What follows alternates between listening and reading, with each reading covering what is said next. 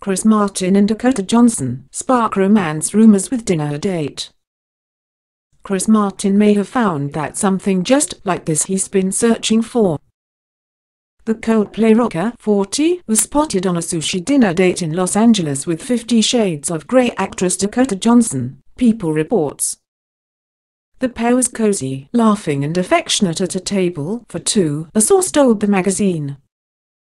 Something just like this singer seems to be moving on from his penchant for blondes Martin most recently dated Peaky Blinders actress Annabelle Wallis, and before that, he romanced Jennifer Lawrence. He was also famously married to Gwyneth Paltrow from 2003 until their conscious uncoupling in 2014. They share two children, Apple and Moses. Johnson, meanwhile, called it quits with Welsh musician Matthew Hitt in 2016. In 2016, while promoting her movie How to Be Single, Johnson, 28, praised the single life to E! News.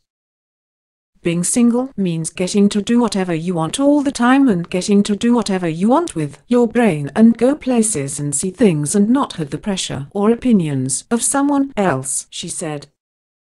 Reps for Martin and Johnson did not immediately return a Daily News request for comment.